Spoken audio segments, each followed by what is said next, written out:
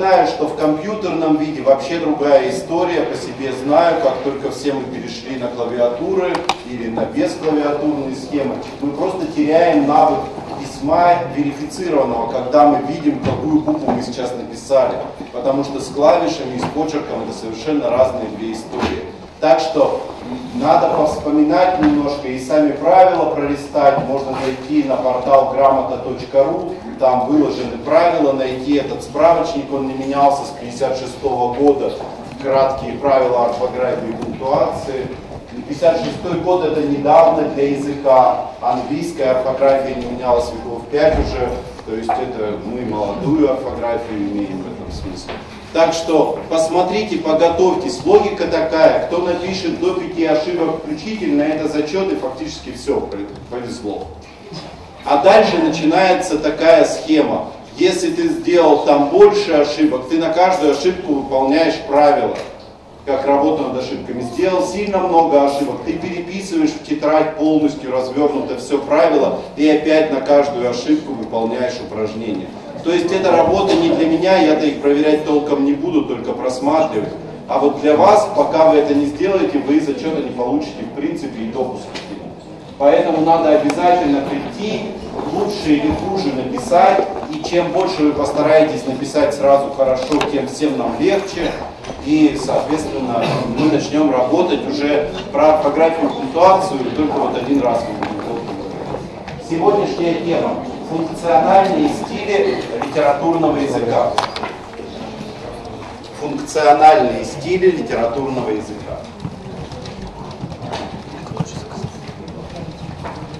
Стилистика наука древняя, по возрасту она соответствует риторике, поэтике, философии. Первые стилистические замечания делал Аристотель, когда объяснял, в каких видах текстов какие нужно средства выразительности использовать как вообще язык реагирует на это понятие стиль. А, и очень долго стилистика вообще-то не сильно менялась, а просто приспосабливалась к разным языкам. Это было до 20 века включительно. То есть Аристотелева теория стилистики, она модифицируясь в разных европейских и не только европейских странах, она дожила до 20 века. В 20 веке Аристотелева стилистика была переосмыслена во многом с помощью ваших коллег, представителей точных и естественных наук, после появления статистики как серьезной научной дисциплины. Потому что современная функциональная стилистика – это язык, проверенный статистикой. То есть это не просто гуманитарная наука, а это весьма точная, а, техническая внутри вещь, и поэтому там есть некоторые выводы, которые а, не приходили на протяжении тысяч лет умнейшим людям, а, связанные с тем, как правильно строить речь в той или иной сфере. Э, когда говоришь о стиле, важно понимать, что стиль понятие общегуманитарное и даже больше, чем гуманитарное. Оно бытовое, перешедшее во многие науки, и искусства. Мы знаем о стиле в одежде, о стиле в архитектуре, о стиле в музыке, то есть во многих, даже о стиле мышления того или иного ученого. То есть все эти контексты энциклопедически описаны. До цифры 1 вводно мы должны определить, когда мы говорим стиль, что мы вообще вкладываем в это слово. Итак, стиль. На бытовом уровне нам вроде бы понятно, что это. Но понятие очень сложное и аморфное, хотя и важное. Так вот, первый компонент, который нам важен в понятии стиль, стиль всегда связан с проявлением индивидуальности, оригинальности. То есть стиль должен отличаться от чего-то. И в этом смысле, когда мы говорим о стиле, мы всегда думаем об индивидуальности чего-либо.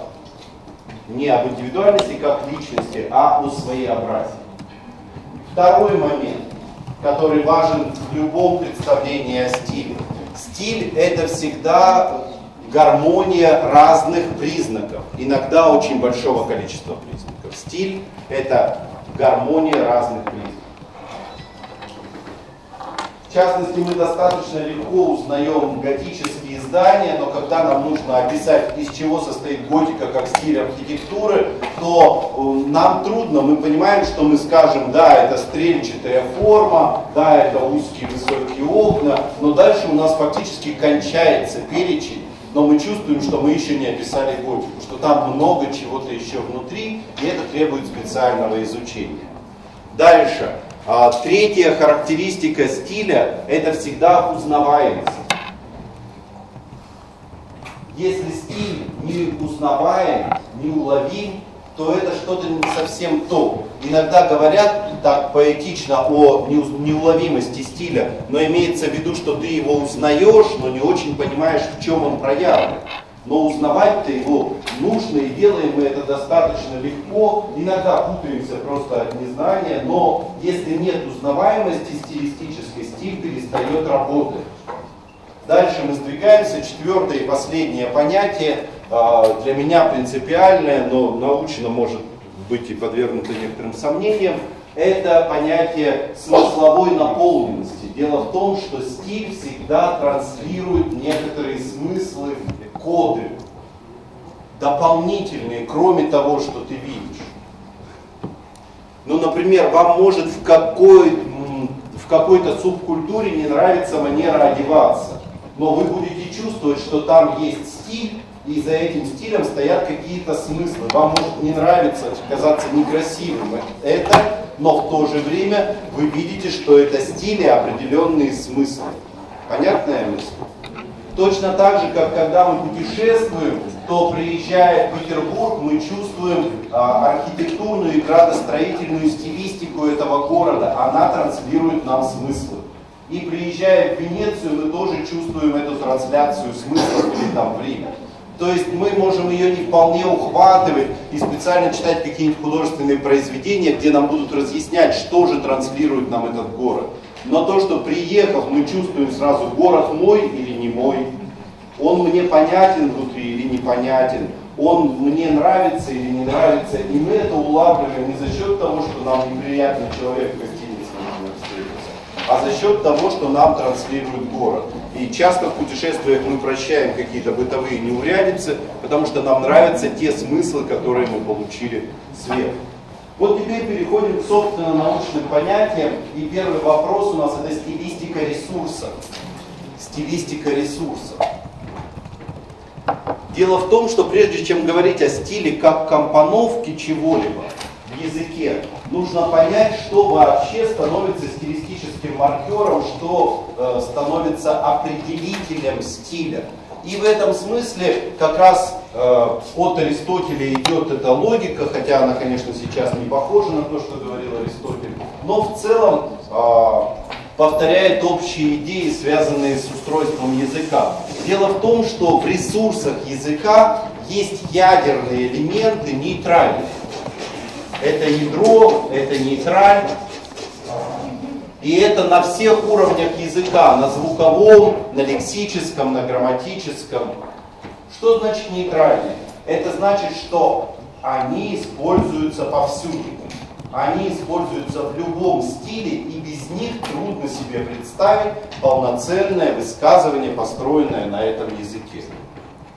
Это все равно, что спрашивать, а слово тетрадь в официально-деловом стиле употребляется – или там «а слово 10 употребляется в официально-деловом стиле». Это очень смешные вопросы, и понятно, что человек здравый, он может над этим немножко пошутить, но он понимает, что эти слова, не будучи маркером того или иного стиля, они могут употребляться везде, как только это тебе захочется, и будет соответствовать твоей востребованию, твоим целям.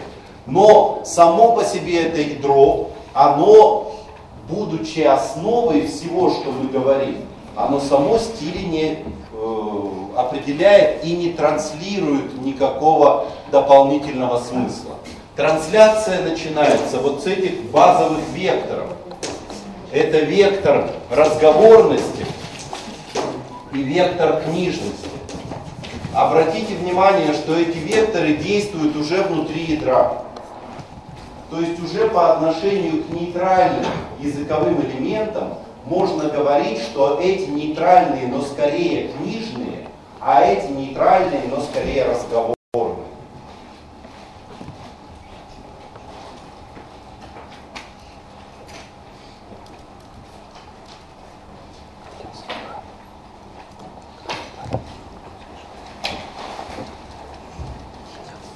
И когда мы говорим десятках, да, то мы можем э, использовать это слово очень по-разному, и оно нейтральное, но в нем есть движение в сторону разговорности.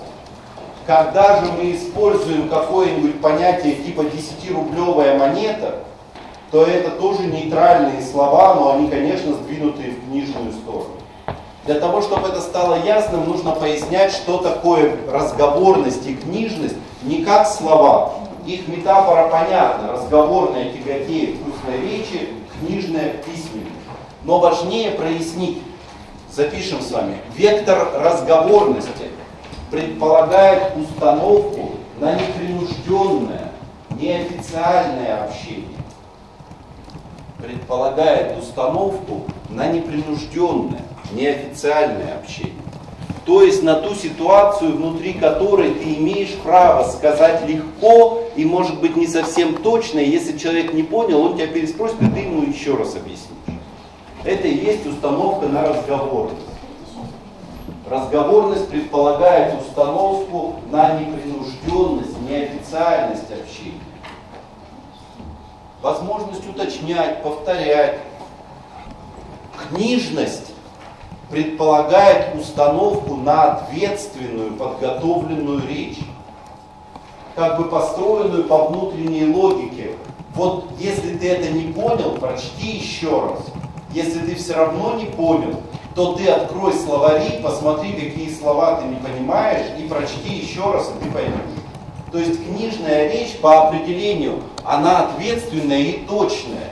Ее даже не принято переговаривать другими словами. Ну, то есть в жизни, конечно, мы это делаем, но с точки зрения языка документов, представьте себе, что вам дали закон какой-то и говорят, вы должны подчиняться этому закону, а вы говорите, так, так, что-то я не понимаю, напишите мне другой закон. Никто вам другой закон писать не будет. С вами посадят юриста, или вы, точнее говоря, наймете себе юриста, который попытается на уровне вашего образования объяснить вам, как работает этот закон. Но закон никто будет, потому что он построен по законам книжной речи. Все, что там сказано, сказано ответственно и точно. А если это не так, то это просто плохо написанный закон. Понятно? Напомню, что пока мы говорим с вами о литературном языке, но литературный язык не существует сам по себе, вырванный из контекста. И, конечно, есть пусть аморфные, но границы, аморфные в значении проницаемые, проницаемые границы, где литературный язык начинает э, контактировать с явлениями нелитературными. Достаточно просто показать, что находится за границей в векторе разговорности, за границей литературного языка. Это диалекты, это просторечие. Сложнее обстоит дело с жаргонами, потому что жаргоны существуют как в области книжной речи, то есть они есть и вот здесь, и есть здесь. Просто жаргоны разные сами по себе. И если это а, профессиональное арго ученых, то понятно, что там будет большое количество книжных ресурсов по своей сути. И наоборот, если это социальная группа там подростковая, например, то понятно, что там будет установка скорее на разговорный вектор. Точно так же нельзя твердо сказать, где будут находиться устарелые слова. Устарелые есть как среди книжных, так и среди разговорных ресурсов. То есть, когда смотришь на планету словарную устарелое, то тебе нужно еще подумать, книжное или разговорное это устаревшее слово. Обычно это в словарях специально прописывается. Вот здесь еще есть спор научный. Это научный спор о терминах и терминологии. Мы привыкли считать, что термины находятся в зоне литературного языка. И это, в общем-то, можно так считать. Но при этом, помните, у литературного языка есть признак. Литературный язык общедоступный. Всерьез верить, что узкоспециальные научные терминологии общедоступны, это значит обманывать себя, потому что они специалистам-то не всегда понятны, если он из смежной области. А уж говорить про то, что это всем понятно, мы не можем. Поэтому многие исследователи говорят о терминологиях как явлении книжном, но находящемся, ну, по крайней мере, на границе литературного языка с чем-то еще. Вот с узкоспециальными терминологиями.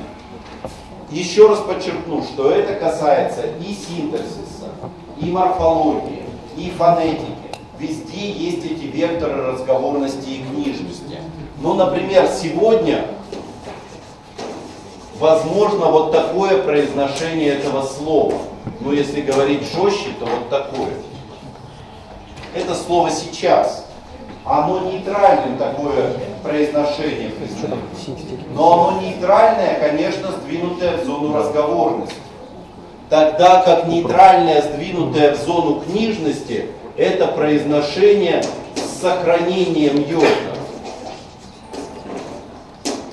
А, произношение сейчас, оно нейтральное, сдвинутое в зону книжности. Но если мы возьмем распространенное произношение сейчас, то понятно, что мы оказались в зоне не нейтральной, а разговорной и сдвинутой в сторону просторечия. Если мы возьмем игровой вариант произносительный «сейчас», то мы понимаем, что мы уже далеко за пределами литературного языка в этой игре когда мы смотрим на специфику, например, религиозно-проповеднического стиля, то для православной практики принято побуквенное чтение священных текстов. То есть без э, фонетического закона редукции. Написано «великого», значит надо читать «великого», не превращая это в «великого». Понятно? Конечно, это очень книжный подход когда буква становится важнее звука. Это книжный подход, фактически находящийся на грани литературного языка, ставящий ну, так, под вопрос литературный язык или уже куда-то он пошел. Приведем еще короткие примеры, связанные с лексикой. Ну, например, у нас есть глагол «есть», что, э, это я о еде сейчас говорю. А чтобы сдвинуть это в сторону книжную, какой мы применим глагол? Нет. Трапезничать. Трапезничать, да, это далеко в зону книжности с устарелым, но в религиозно-проповеднической речи и сегодня нейтральным. Глагол питаться. Питаться это явное движение в сторону книжности. А, например, глагол перекусить это явное движение в зону разговора.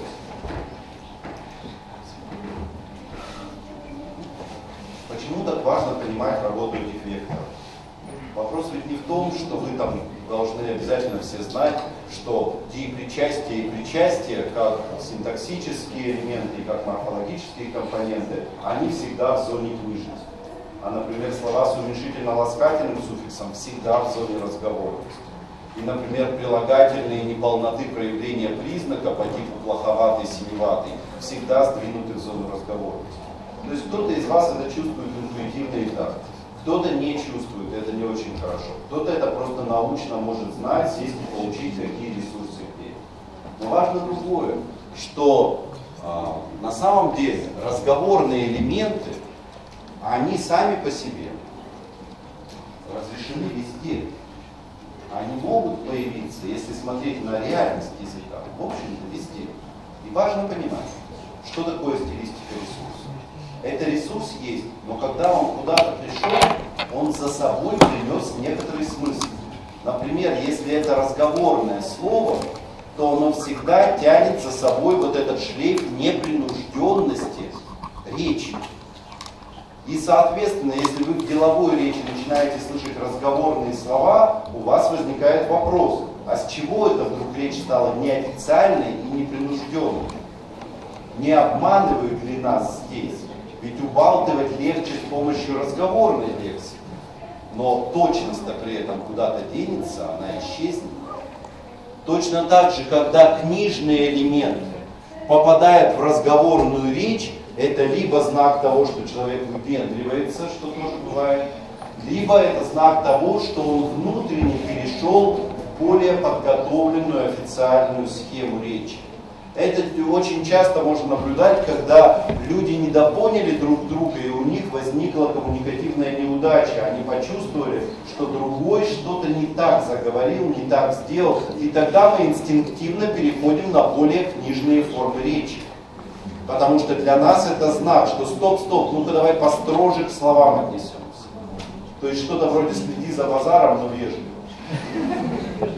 То есть мы так переключаемся, когда хотим подчеркнуть, что аккуратнее слова подбирать. Вот не нравится мне сейчас, как вы говорите, и эта ваша непринужденность не помогает нам, а наоборот мешает. Понятная, да, схема? То есть сами по себе ресурсы, они компонуются, они всегда компонуются, в этом их смысл. Но и эта компоновка, она и транслирует нам базовые стилистические задает нам возможность выбирать индивидуальный, собственный стиль речи. Если когда мы говорим о функциональных стилях, мы всегда говорим о делении внутри литературного языка, то когда мы говорим об индивидуальном стиле, мы говорим о манере речи, о том, насколько удачно мы скомпоновали эти ресурсы, удается ли нам передавать смыслы, э, к которым мы стремимся. Это все о стилистике ресурсов. Подробнее можно читать в пособии. Переходим к вопросу функциональная стилистика. И дадим, конечно, сначала определение, а, то есть это была стилистика ресурсов, теперь другой раздел стилистики, собственно, функциональная стилистика. Функциональная стилистика. Даем определение функционального стиля. Функциональные стили это разновидности литературного языка. Разновидности литературного языка.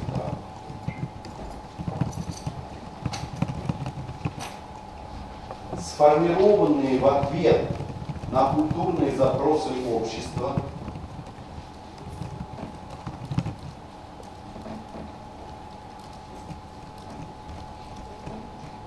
сформированные в ответ на культурные запросы общества, объединяющие разные сферы человеческого взаимодействия по ведущей функции общения, разные сферы человеческого взаимодействия по ведущей функции общения.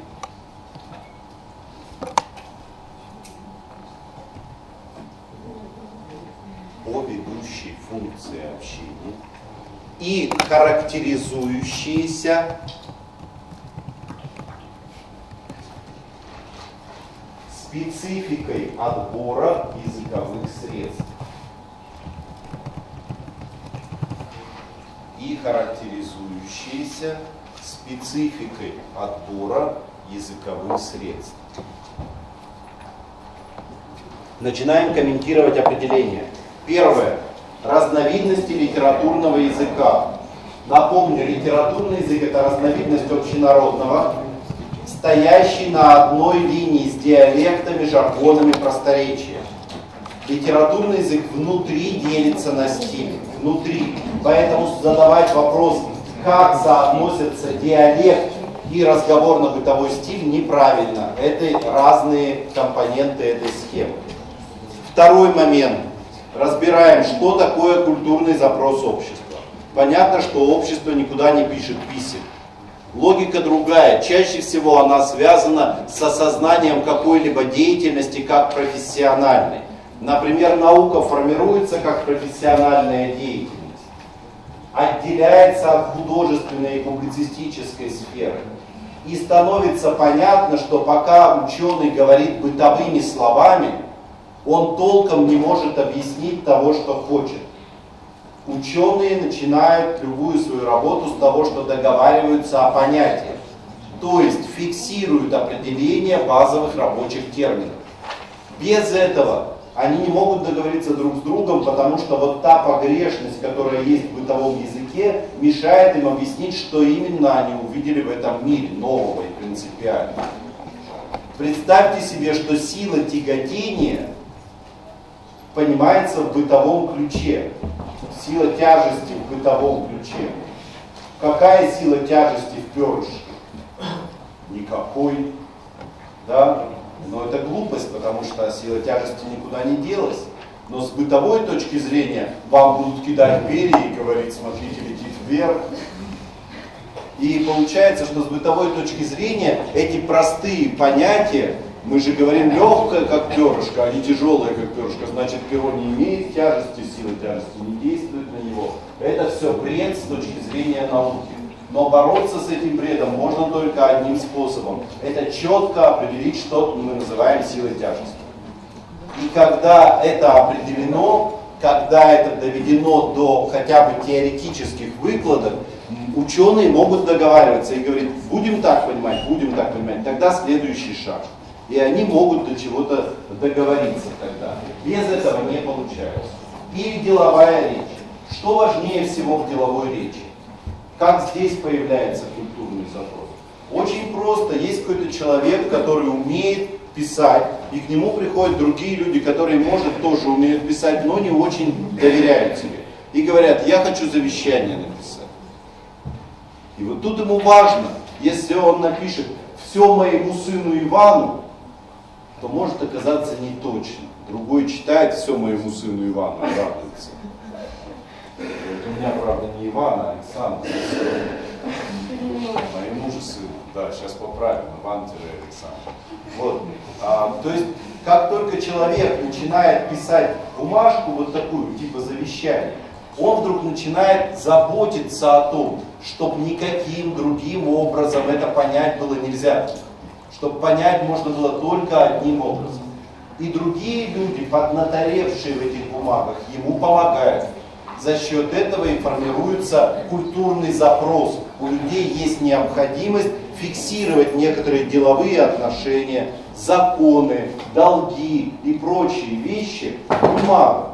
И здесь им очень важно все точно прописывать, все делать внятно. И тогда и появляется этот новый деловой стиль. Понятно?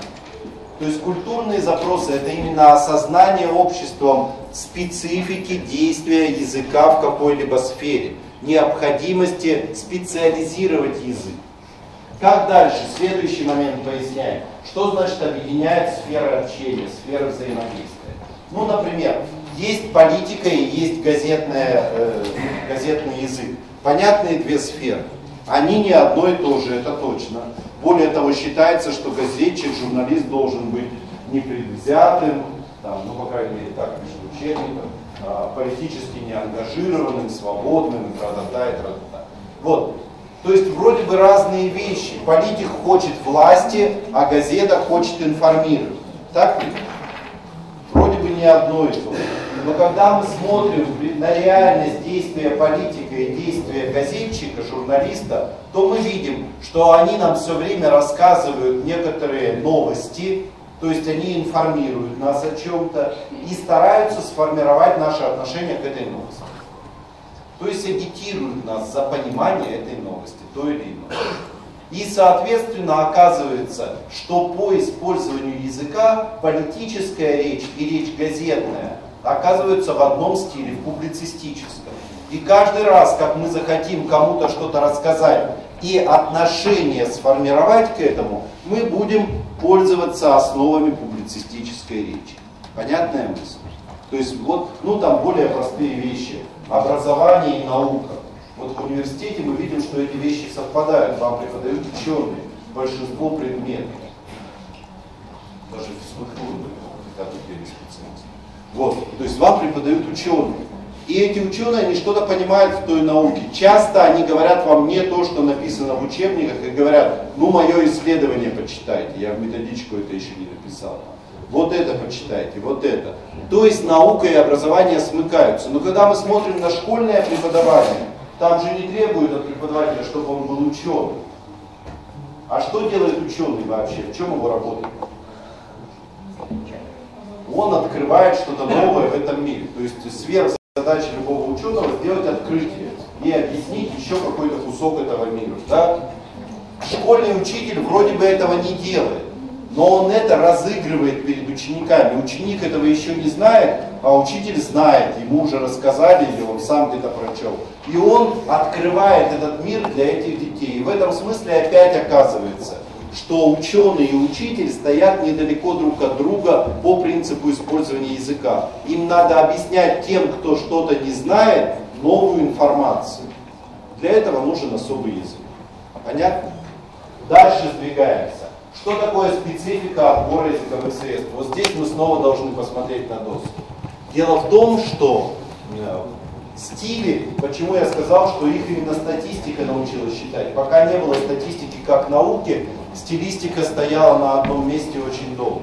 Но оказалось, что когда статистически обсчитываешь, то можно просчитать не только идеи книжности и разговорности, но и некоторые другие стороны отбора языковых средств. Ну, например, для вас может оказаться новостью, что существительные среднего рода в научной речи значительно продуктивнее, чем, например, в разговорно-бытовом стиле или в публицистике. Вот вроде бы, ну с чего это? С чего это? Чем вдруг существительные среднего рода оказались более научными? Можно ли вообще так говорить, что они более научные? Это неправильно будет, они, конечно, не научны.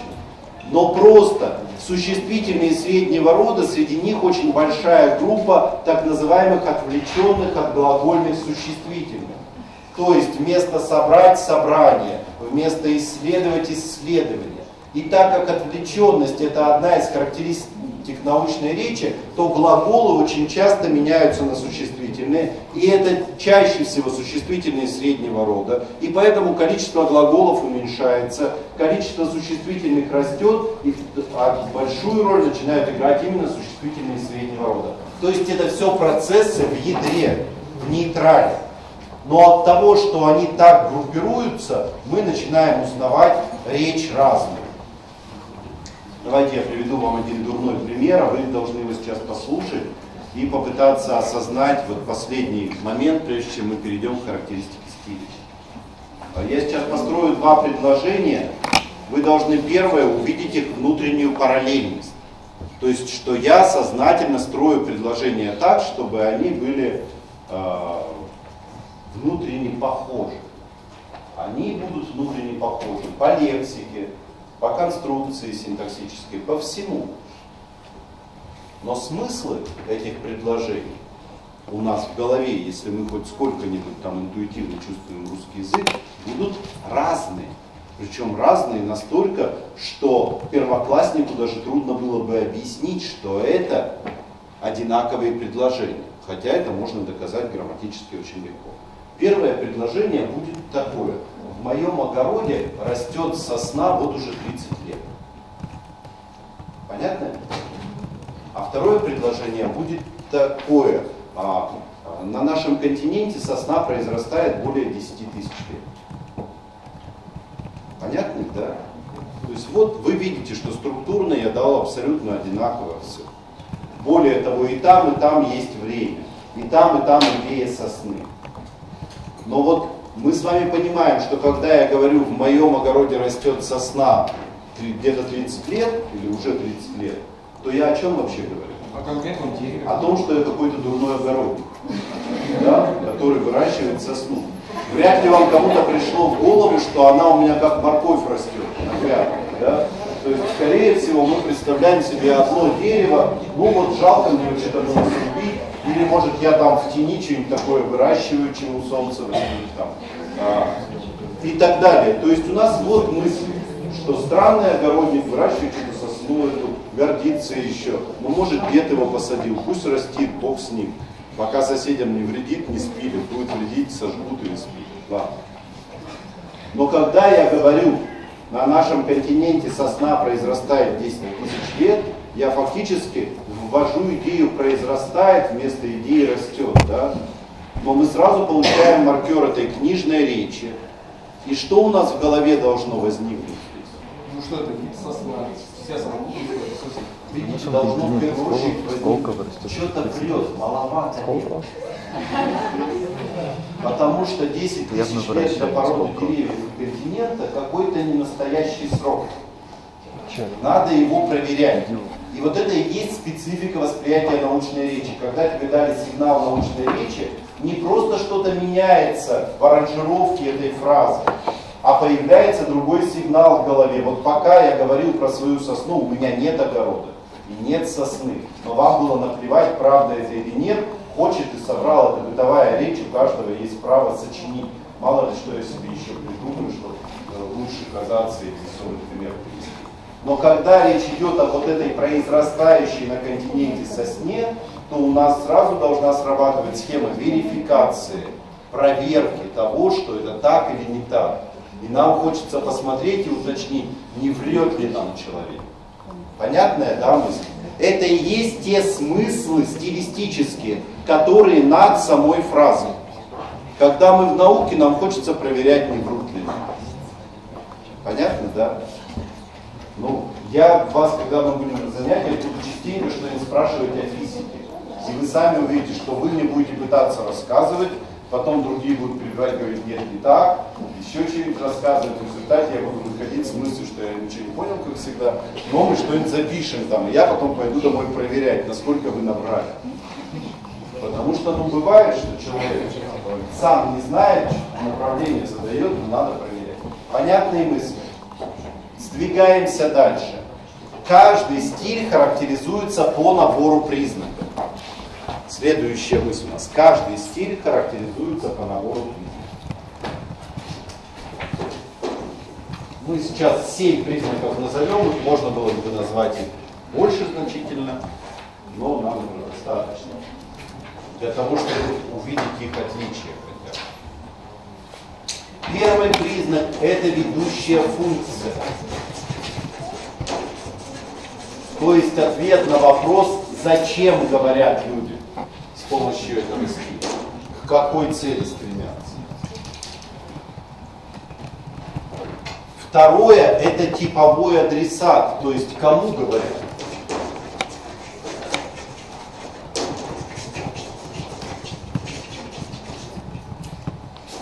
Третье – это сферы взаимодействия. То есть в каких сферах этот стиль востребован.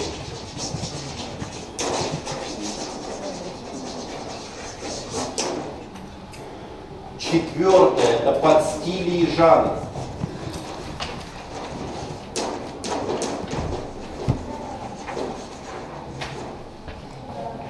Пятое – это форма речи.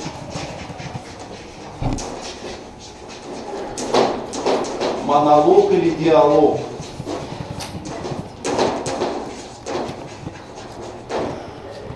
Письменная или устная стихия. Обычно монолог соответствует письменной речи, а диалог устной. Шестое, вот единственный термин посложнее, это экстралингвистические характеристики. Экстралингвистические характеристики. То есть, по сути, это и есть, вот шестой пункт, это и есть, что попросило общество, что ему надо было от языка. То есть это не собственно еще языковые черты, а тот вопрос, то требование, которое формирует отбор языковых средств. И седьмое, соответственно, это как раз специфика отбора языковых средств.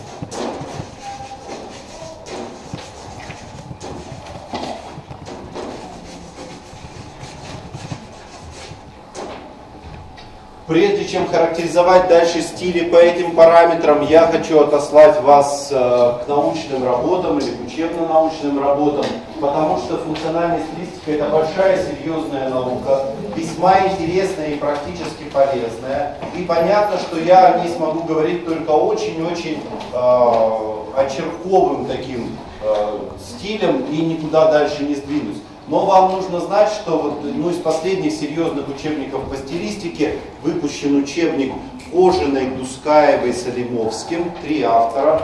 Кожина Маргарита Николаевна, Дускаева Лея Рашидовна, Кожина, Дускаева, Салимовский Владимир Александрович. Книга так называется «Стилистика русского языка». Есть старый советский еще учебник Маргариты Николаевны Кожиной. Им тоже можно пользоваться, но только понятно, что э, язык вообще сильно поменялся за последние лет 20. И в стилистическом аспекте тоже, потому что 20 лет назад ни о языке рекламы, ни о языке интернета, ни о языке церкви не писали в стилистических учебниках, но я говорю 20, на самом деле 30 потому что учебники те 80-го года издания стилистика русского языка кожаная. Все, э, то есть там можно посмотреть, уточнить, и понятно, что я, особенно когда мы будем доходить до седьмого пункта, я буду называть только некоторые черты, потому что описывать язык стиля это непросто и требует и от вас, и от меня и времени, и навыка, и понимания языковых средств. Начинаем мы с того стиля, который стоит особняком. Это единственный стиль, в котором реализована именно разговорная стихия, то есть разговорно-бытовой стиль русского литературного языка. Разговорно-бытовой стиль русского литературного языка. Не путайте его, пожалуйста, с разговорной речью. То есть мы сейчас говорим только о тех о той разновидности, которая оставляет нас в пределах литературного языка, а не выкидывает нас за нее. Ведущая функция здесь – это общение ради общения. Общение ради общения. Это одна из важнейших функций, связанных с тем, что человек должен постоянно получать психологическую подпитку от тех людей, которые ему чем-то ценны в этом ключе смысл, который транслируется сверху, выглядит примерно так. Ты мне важен, надеюсь, и я тебе важен тоже. Причем эти смыслы, они важны нам. И очень ярко эту цель мы видим в телефонных разговорах двух подруг, которые два часа болтают, а потом говорят, что звонила? Они вот реально два часа могут проболтать и потом перейти вот на этот вопрос, а что звонила-то? Потому что у них где-то в голове работает, что вот это было общение, ради общения, а не ради того, что была какая-то информация там деловая и прочее. И мне приходилось видеть вживую случаи, когда люди не решались в разговорно-бытовом стиле перейти к деловой информации. Вот поболтают, поболтают, потом идут и думают, ну я про самое важное ты не поговоришь. То есть вот и это связано не с тем, что человек забывчивый и очень скромный, а с тем, что эта функция очень важна. И бывают, конечно, одиночки, мизантропы и прочие, которые всех ненавидят, и то им иногда с кем-то поговорить охота. Но они соберутся и против кого-нибудь чем говорят. То есть другую волну оседлают, но друг другу. Тут интересные примеры, что даже ссорясь друг с другом, мы на самом деле говорим друг другу, ты мне важен, надеюсь, и я тебе. Потому что иначе очень трудно объяснить сам механизм ссоры. Ну не нравится тебе этот человек, ну не разговаривай с ним. Вообще, нет, каждый раз встретиться и снова поругаться. Встретиться и снова поругаться. Типовой адресат. Человек как личность. Человек как личность.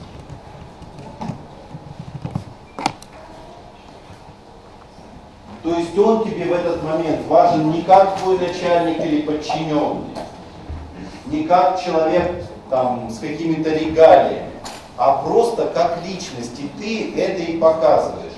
Это очень хорошо видно в переключениях людей. Ну, например, вы заходите куда-то на кафедру, и заведующий со своим коллегой, там, может быть, младший, разговаривает обиходно, легко, но э, и ответ может получать очень спокойную и легкую речь. Но вы появляетесь, и вполне вероятно они переключатся на более официальный стиль общения.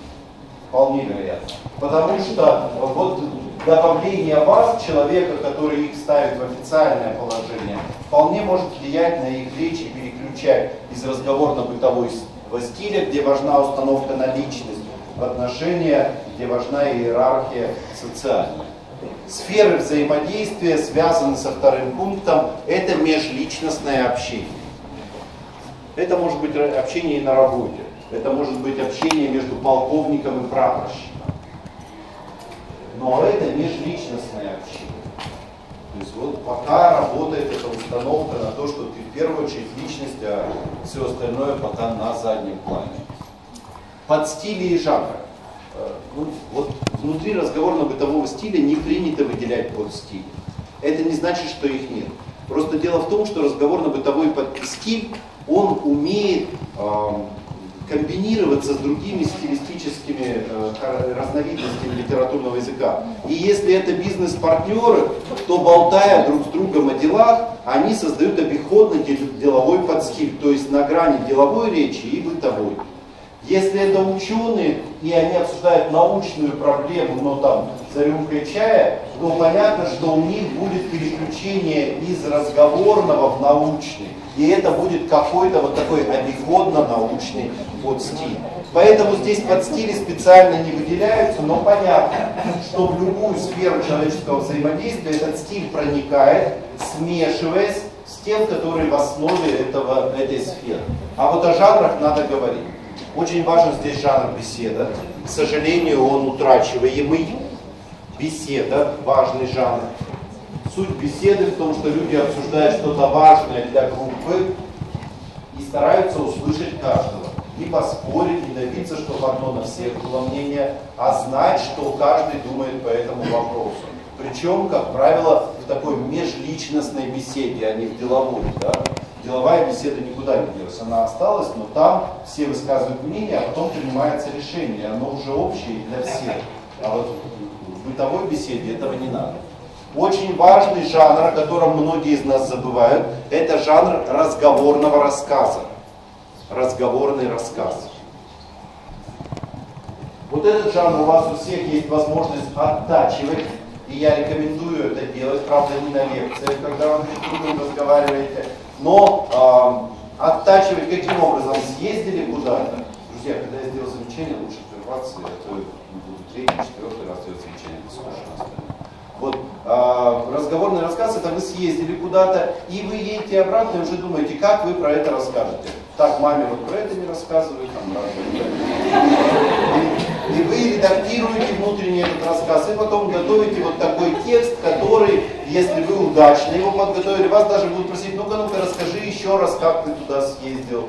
И вы опять это расскажете с какими-то новыми, а, может быть, версиями, а может быть и нет. То есть вот умение строить такие бытовые разговорные рассказы очень важно, потому что позволяет нам выполнять основную функцию, общаться ради общения и быть так называемым интересным человеком. Еще жанры важные. В центре всех жанров здесь, конечно, бытовой диалог. Бытовой диалог. Это вот диалог студентов в столовку, куда пойдем, например. А, нет, не пойду. Да, нет. Ну, в общем, и так, вот эти вот планы, кто хлеб сегодня купит, кто не купит, там, кто купит, но ты опять обещаешь, ты опять забудешь, опять, ты хоть позвони, пойдешь. Ну вот, вот эти вот все договоренности, вот эти мелкие диалоги, они чрезвычайно важны, они строят нашу жизнь. А дополнительно нужно сказать, что здесь есть и письменные жанры, это личная переписка и личный дневник. Вот пока об электронных носителях я здесь совсем не говорю, потому что там пока еще язык не устоялся. И там смешение всех сфер общенародного языка, и понятно, что в ICQ вы вряд ли разговариваете на чистейшем литературном языке. Там по-разному это бывает. Так что э, там еще электронные носители пока совсем не беру, иначе их сразу надо исследования проводить. Все, к формам речи переходим. Первичный, конечно, диалог и устная речь диалог и устная речь.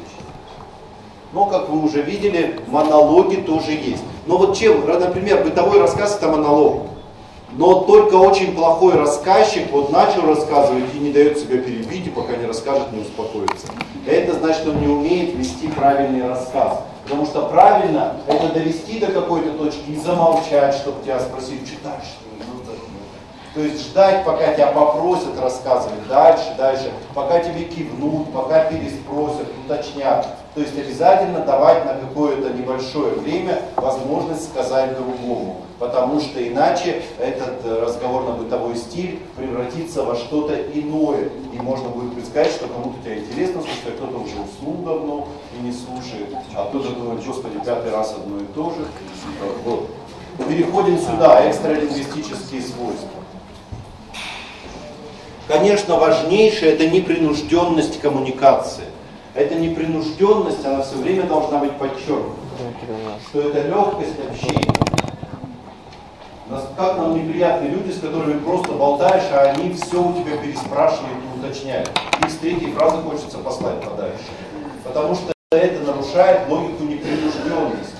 И такая позиция воспринимается как конфликтная. Если я говорю легко, свободно, а ты меня про все переспрашиваешь, значит ты требуешь, чтобы я перешел к книжной речи. А я не хочу к книжной. Книжная речь это работа, а я поболтать хочу. То есть вот это не срабатывает тогда. Итак, про непринужденность сказал. Отсюда почти всегда эмоциональность речи.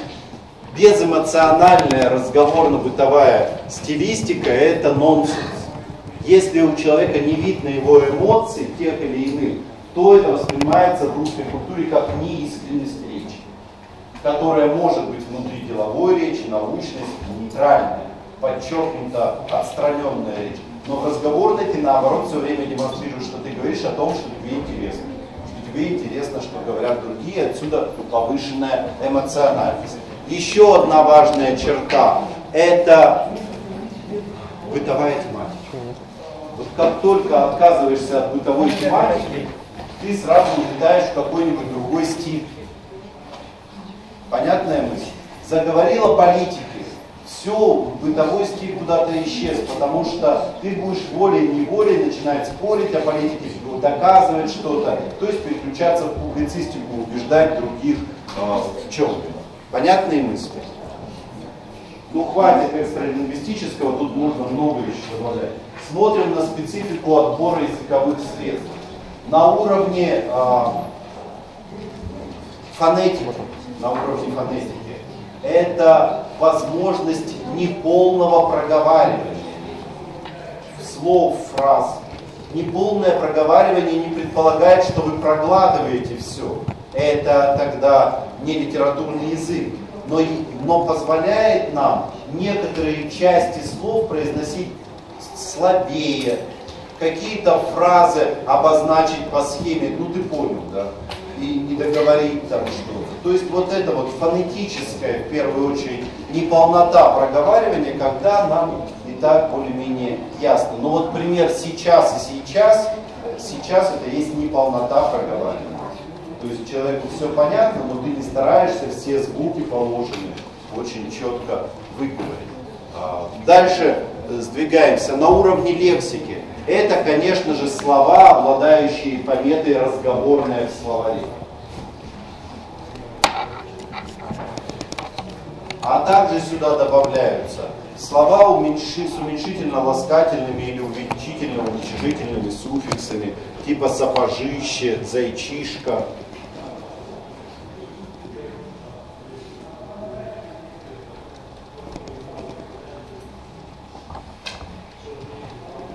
На уровне морфологии яркой приметой становится активнейшее употребление личных местоимений. Личные местоимения чуть ли не половину всего пространства разговорно-бытовой речи занимают. Это связано с тем, что мы все время «а я о себе», а нам человек отвечает снова о себе.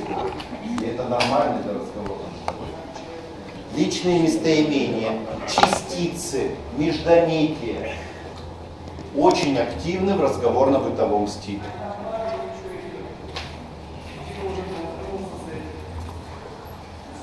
В области синтаксиса не слишком длинные предложения. Вот мне не нравится, когда описывают так, разговорная бытовая речь, значит синтаксис простой. Это не всегда так. Там бывает и простой, и сложный, и осложненный, разные. Но вот если человек начинает говорить длинными конструкциями, никак его не остановить, и он продолжает и продолжает, это все что угодно, но не разговорная речь. Бывают тараторки, но опытные тараторки, это может быть, могут быть и мужчины, и женщины, слово тараторка позволяет так сказать, но эти опытные тараторки, они все равно речь членят на короткие компоненты. Потому что иначе их невозможно слушать. Хотя у моей жены была подруга, это было, ей вообще слова нельзя было сказать. Ну, в смысле, что ты можешь говорить, но она тебя не слышит. А она вот если пришла 40 минут сидит, она 40 минут говорит. Она не замолкает ни на секунду. Она никого не переспрашивает, ничего. Она говорит, говорит, говорит, вдохнула и снова. Любая попытка сказать, да, да, у меня тоже был такой случай, это нереально. Но это уже отклонение от норм культуры речи, поэтому мы здесь подробно не рассматриваем. Итак, предложение не слишком длинное. При этом активны вопросительные и восклицательные предложения, особенно вопросительные. Нормальная разговорно-бытовая стилистика предполагает, что тебе интересно что-то от другого. И ты его спрашиваешь, он тебе отвечает. Сам что-то в ответ спрашивает. Ну вот яркие свойства разговорно-бытового стиля. А, конечно, можно их еще э, раскрывать, там много свойств. Остальные стили литературного языка признаются книжными. Вот разговорно-бытовой один, все остальное книжное.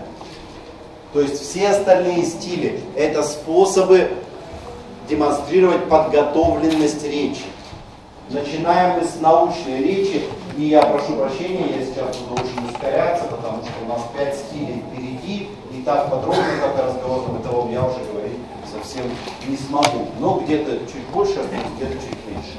Ведущая функция научной речи – это сообщение принципиально новой информации о мире сообщение принципиально новой информации о мире.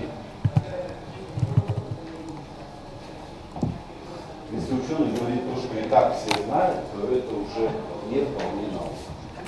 Здесь очень интересный типовой адресат. Это специалист в той же научной области. Ученые говорят не для всего мира, а для специалистов в этой же научной области.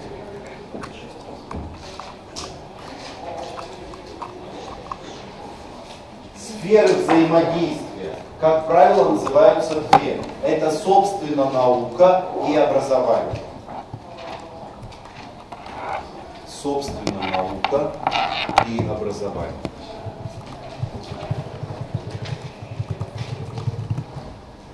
Когда говорят о подстилях, то традиционно называют три, хотя на самом деле есть много разных подходов к описанию этого явления.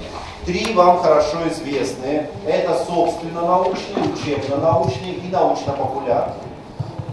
Собственно, научный присущ науке как таковой, учебно-научный образованию и научно-популярный это смесь публицистики и науки. То есть это способ завлекать других э, изучением э, научных.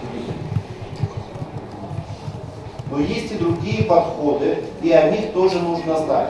Ну, например, вот если смотреть на структуру нашего университета, то видно, что у нас объединены естественные науки, гуманитарные науки и искусство, выделены социально-политические науки. И, например, гуманитарные науки и социально-политические разговаривают на одном подстиле, на подстиле гуманитарных наук. Чем отличается внутренняя суть этих наук? Там нет открытий в том смысле, в каком они есть в естественных науках.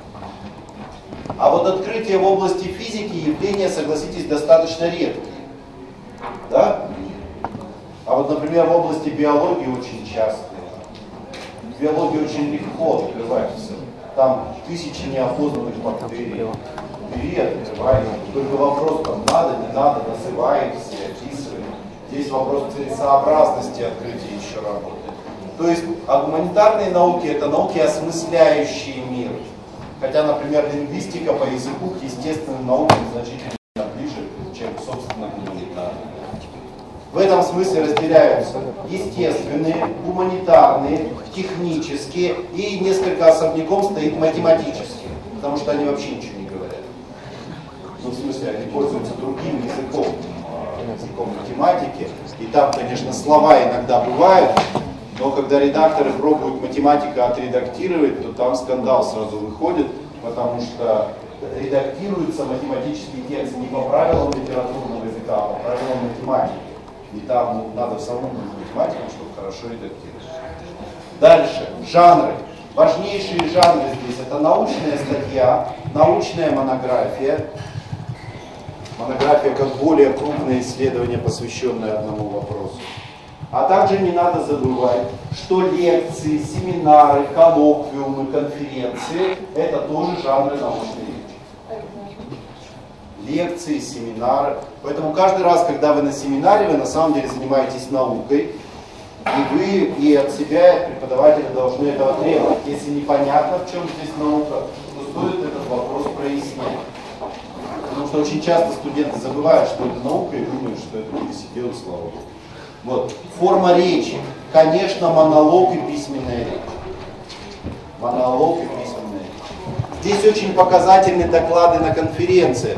Человек, конечно, знает свою тему, он может говорить устно и не читать ничего по бумажке. Или лектор, он уже сто раз читал похожие лекции, спокойно читает без бумаги. Но если человек в науке говорит что-то не записав предварительно, то это либо он не исследовал и сейчас делится домыслами, либо он ну, излишне доверчивый человек, потому что он сейчас всем расскажет, и другие в пять раз быстрее него это опубликуют. То есть в науке принято сначала исследовать и публиковать, а уже потом всем вокруг это рассказывать. Ну, за исключением тех случаев, когда люди общаются внутри одного авторского коллектива, там, конечно, другой подход. Понятная мысль? Дальше. Экстралингвистические характеристики. Важнейший здесь это объективность и отвлеченность. Объективность и отвлеченность изложения.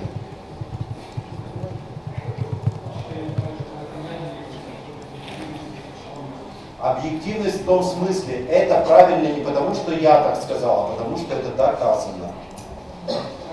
Понятно? То есть вот базовые качества.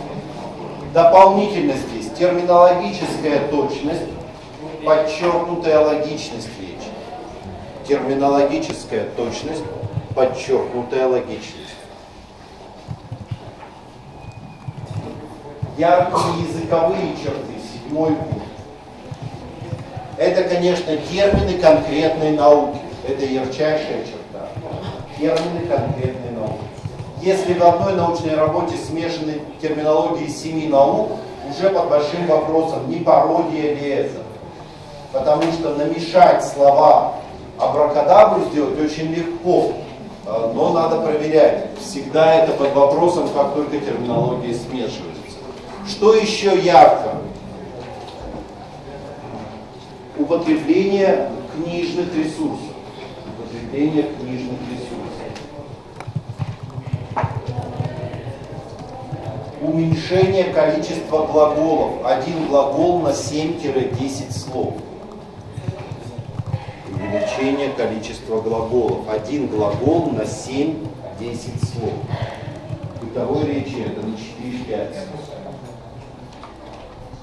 Среди глаголов а, активизируется форма настоящего вневременного времени. Смешно звучит настоящее вневременное, но оно такое и есть, когда мы отвечаем э, на вопрос, э, когда Волга впадает в Каспийское море, мы можем ответить только всегда, или пока не случится какая-нибудь катастрофа, то есть что-то проверить, отчетливого времени там нет. То есть ответить на вопрос, когда это произошло, нельзя. Дальше движемся, переходим к деловой речи. Деловая речь внешне часто называется похожей на научную, но внутренне это не совсем так. Ведущая функция, констатация факта, констатация факта и регламентация человеческой деятельности.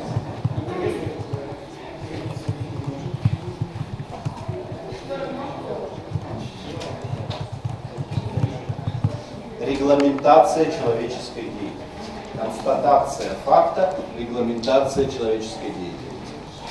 Типовой адресат, субъект правового поля. Физическое, юридическое лицо. Субъект правового поля. Попал в правовое поле, ты стал адресатом этих документов. Сферы взаимодействия, их много. Это законы, и вся законодательная, законотворческая деятельность широко называем, законы, дипломатия, суды, администрирование, законы, дипломатия, суды, администрирование, бизнес. Это очень крупные сферы, и фактически каждая из них рождает собственный подстиль. Поэтому здесь так и говорится, язык закона, язык дипломатии, это уже четвертый пункт. Язык документов, язык закона, язык дипломатии, язык документов. Мы с вами на семинарах будем только язык документов смотреть, чтобы изучать язык закона и дипломатии, и вам не нужно другое образование. Дальше. Форма речи. Форма речи.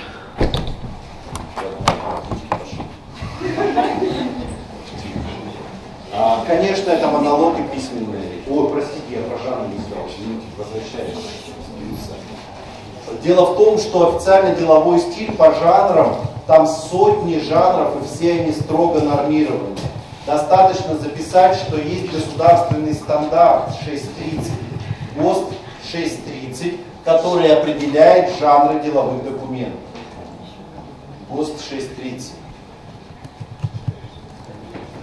В общем смысле выделяют жанры информационно-справочные, организационно-распорядительные, жанры документов. Это я совсем не беру язык закона, язык дипломатии, там свои жанры.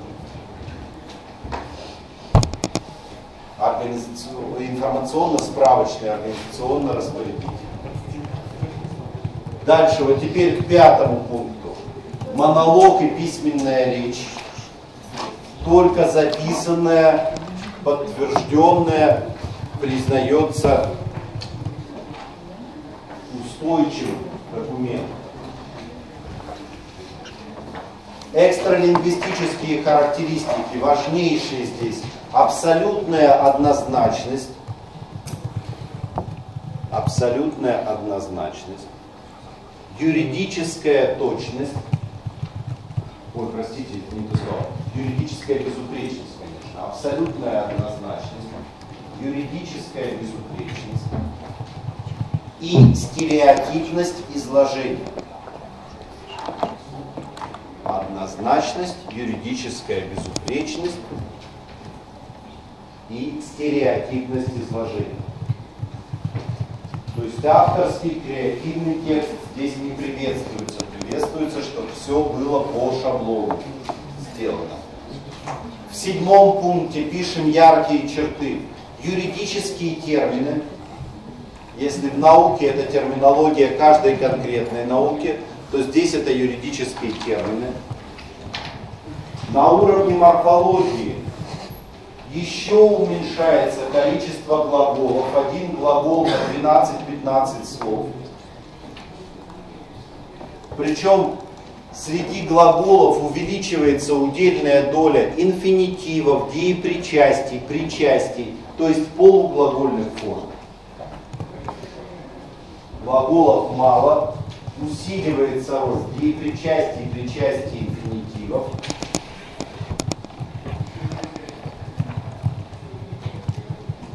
Появляется новая форма настоящего времени, настоящее предписательное. Появляется настоящее предписательное время. Очень яркая синтаксическая черта длинные предложения. Синтаксис деловой речи признается э, прозрачным, хотя внешне на человека такого впечатления не производит. Там много повторяющихся конструкций однотипных, но при этом длина предложения за 30 слов и до 100, иногда и до 300 слов. Это для деловой речи не новость. Там такие предложения бывают очень часто. Дальше. Следующий стиль публицистический.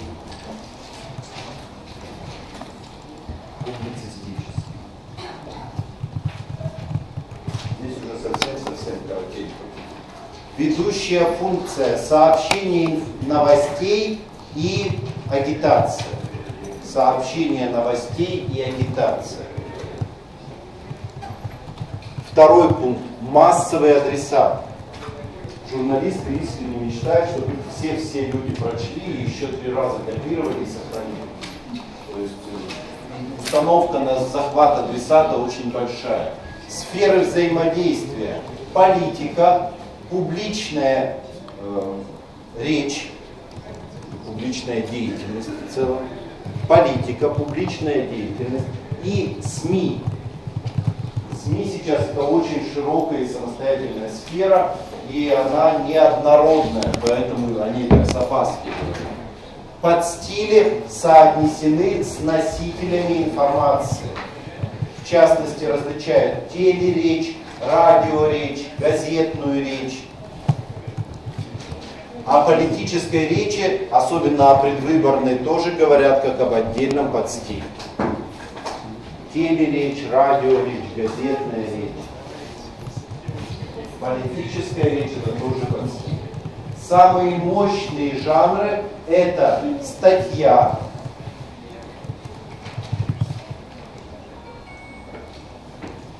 интервью, репортаж.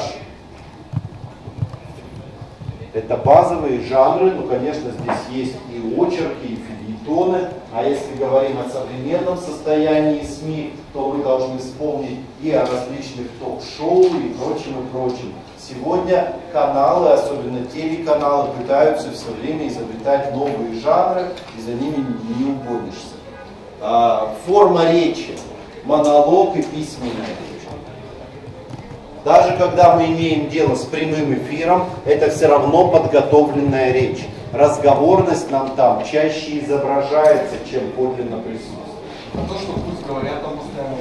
Ну да, конечно, они там болтают и прочее, но я не берусь сейчас обсуждать уровень доверия к тому, что это не подготовленная речь. Но э, дело в том, что публицистика все время инсценирует разговорность, вы это сейчас сами увидите в дальнейших фильмах но основа все равно письменная. То есть план программы, он кем-то утвержден, он Экстралингвистические свойства. Самое яркое здесь – это соотношение стандарта и экспрессии. Стандарт и экспрессия журналист, он всегда находится вот в этой вилке. С одной стороны, чтобы тебя читали быстро и легко, надо говорить стандартно, чтобы быстро узнаваемая была информация. Но если ты говоришь очень однотипно, как все, тебя никто не будет читать, потому что это скучно.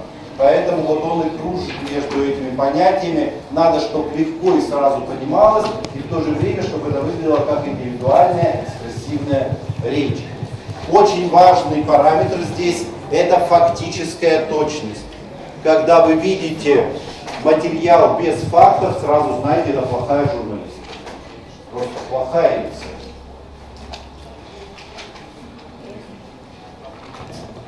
Здесь остановимся. Седьмое, здесь самая яркая черта – это смешение книжных и разговорных ресурсов. Именно для достижения одновременно подготовленной речи, но легко воспринимающейся, журналист должен уметь умело пользоваться ресурсами книжными и разговорными. И в любой заметке сразу можно подчеркнуть, где книжные, где разговорные ресурсы, они смешиваются. Следующий стиль, э, для меня самый темный, я им профессионально научно никогда не занимался, это религиозно-проповеднический. Поэтому здесь я вам говорю только общие вещи. Если есть кто-то сильно связанные с церковью, не обижайтесь, почитайте сами, расскажете всем на занятии, если будет время. Итак, ведущая функция здесь – это э, передача сакральной информации. Передача сакральной информации. То есть, видите, вообще другое. Если говорить упрощенно, то это связь с высшими силами. Типовой адресат – представитель вашей конфессии. То есть этот подстиль действует только в стиле внутри конфессии, между конфессиями работает очень плохо. Сфера взаимодействия здесь одна, это религия. Религия. Говорить о подстилях трудно, потому что современные э, религиозные деятели или церковные деятели, правильно говорить, они стараются проявить себя в разных стилях литературного языка и в публицистике, и в науке. Поэтому э, о подстилях здесь правильнее, пожалуй, говорить в связи тоже с конфессией. Потому что речь православного священника и речь там, ну, например, буддиста, они не похожи друг на друга, хотя общие черты стиля там сохраняются. Важнейшие жанры – проповедь, молитва, исповедь. Проповедь, молитва, исповедь.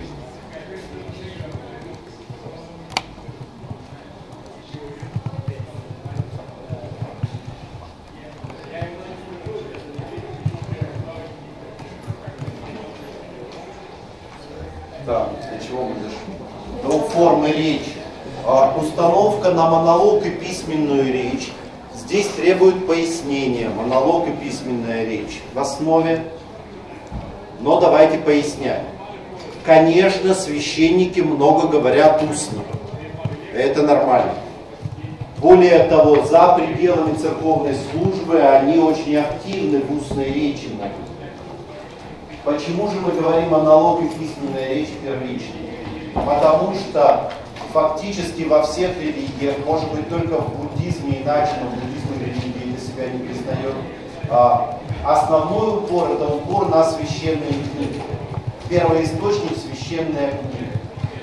Поэтому письменные фрагменты в виде цитат, в виде от большого цитирования в проповеди какого-то книжного участка. Они определяют весь стиль. Именно поэтому о монологии письменной речи мы говорим, хотя понятно, что и элементы диалогизма, элементы устной речи там будут присутствовать. А, важнейшие экстралингвистические самая важная здесь характеристика – это праведность, понятая в конфессиональном ключе. Праведность, понятая в конфессиональном ключе.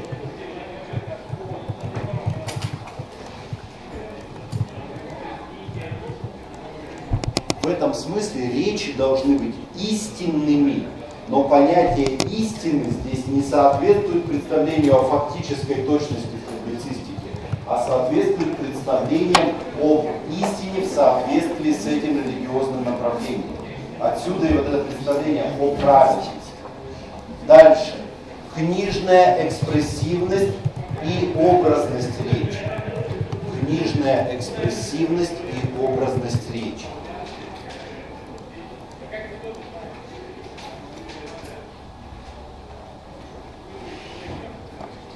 это тоже яркая черта э, религиозного стиля. Очень многое дается через примеры. Пример это всегда по своей сути художественный, но описанный через идею э, праведности вот этой присущей речи. Дальше. Э, установка на терминологию, на терминологическую точность в пределах конфессии.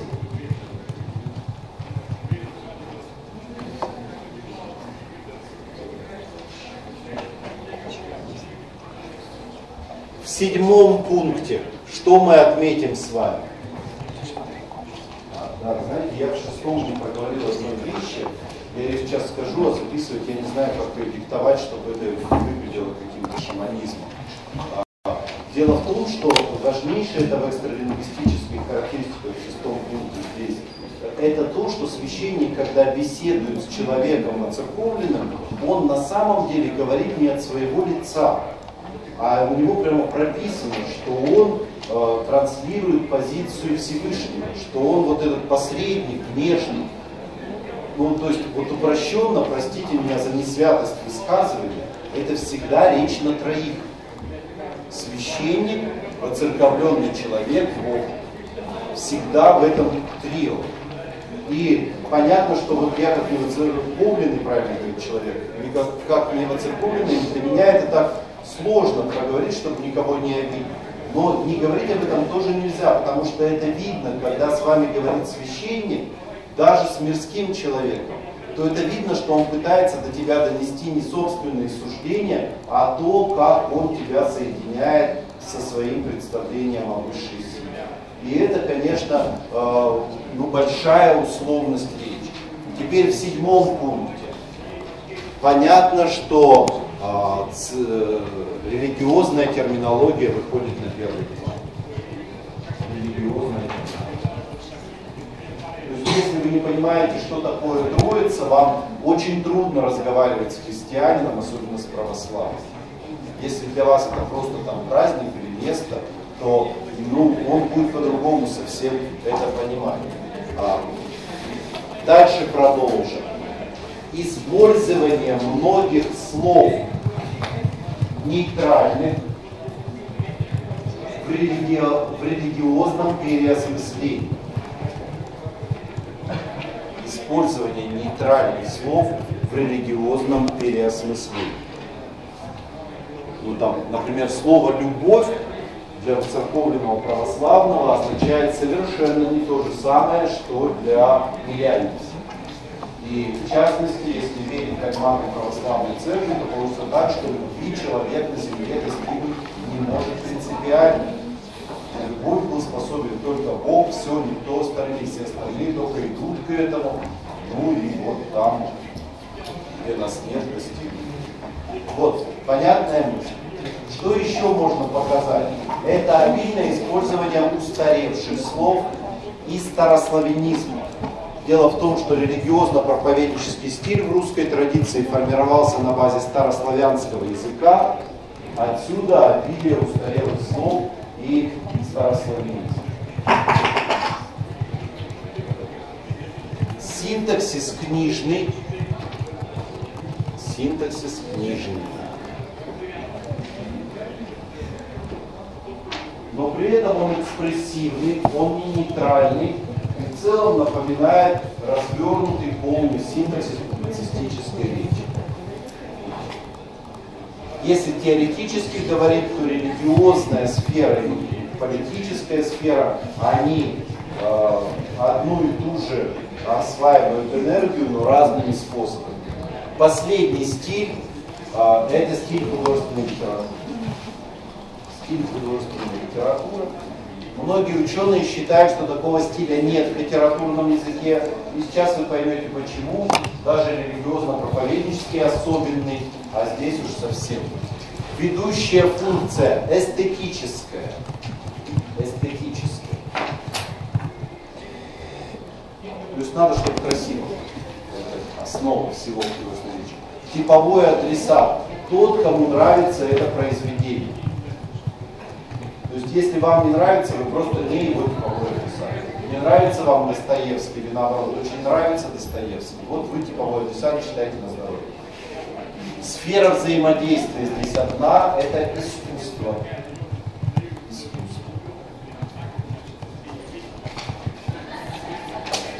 В четвертом пункте.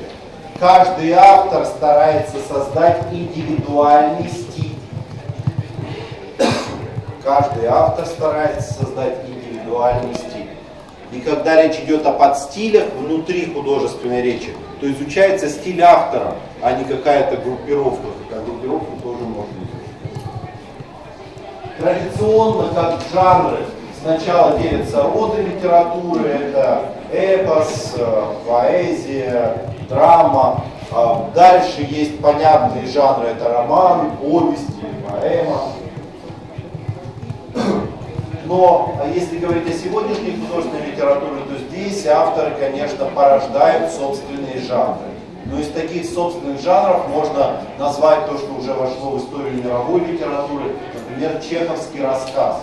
Чеховский рассказ это отдельный жанр, он во всем мире, в любом, на любом факультете филологии, он изучается, потому что это специфический какой-то жанр. Или там новелла Мапасана, что было не только про наши. Это тоже новелла Мапасана, это вот отдельный жанр, куда уже ничего не двигается, он узнаваемый, с ним работает. Ну и таких много. В американской литературе есть такие, а, такой жанр Collier Story, есть такой автор Collier, кто не читал, почитайте, интересный короткий рассказ. Вот. А, дальше. Форма речи, монолог и письменная речь. Все диалоги, все подражание устной речи, это только подражание. На самом деле диалог художественный строится по иным законам. Монолог и письменная речь. Важнейшая экстралингвистическая характеристика. все подчинено авторскому замыслу. Здесь одной характеристики нам хватит. То есть как он захотел, так и написал. Не нравится, не читай. Все подчинено авторскому замыслу. И в седьмом пункте мы тоже прописываем только одну черту. Используются все ресурсы общенародного языка. Используются ресурсы общенародного языка. То есть не литературного, а все. Если у меня герой носитель диалекта, он будет у меня частично говорить на диалекте в рассказе. Если он матершинник, то очень трудно ожидать, что я его назвал матершинником, но он меня при этом не публицистом. То есть понятно, что если автору зачем-то понадобилось, он использует все.